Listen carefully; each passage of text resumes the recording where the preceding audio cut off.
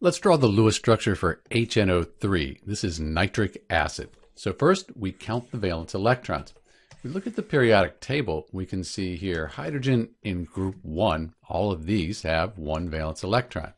Nitrogen, group 15, sometimes called 5A, 5 valence electrons. Oxygen, that's in group 16, 6 electrons, but we have 3 oxygen atoms.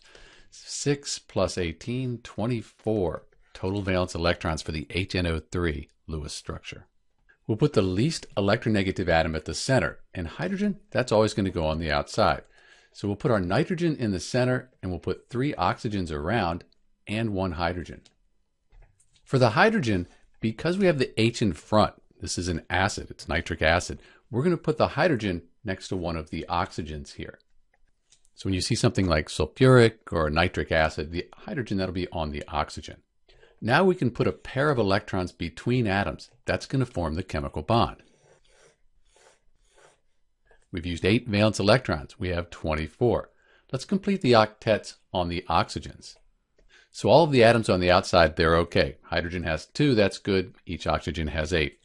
The central atom, though, the nitrogen, that only has 6, and we've used all 24 valence electrons. Let's move 2 electrons to the center here, form a double bond.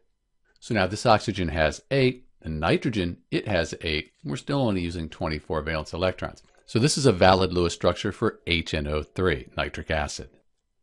In fact, if we look at the formal charges here, we'll find that we have a negative 1 on the oxygen and a positive 1 on the nitrogen.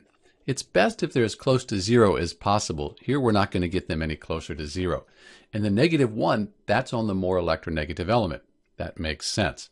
This is actually the best Lewis structure for HNO3. There is one more way we could draw it though. If we put the double bond here between the nitrogen with the OH group here, we'd end up with formal charges that look like this. We'd have a plus one on this oxygen, plus one on the nitrogen, and then negative one, negative one. It all adds up to zero. This is a neutral molecule, but we want them to be as close to zero as possible. So this turns out to be the best or most likely Lewis structure for HNO3 you need help with formal charges, there's a link at the end of this video.